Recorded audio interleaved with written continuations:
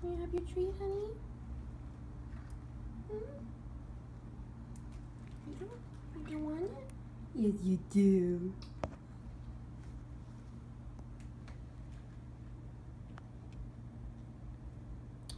It's okay. Eat it up, baby girl. Hmm.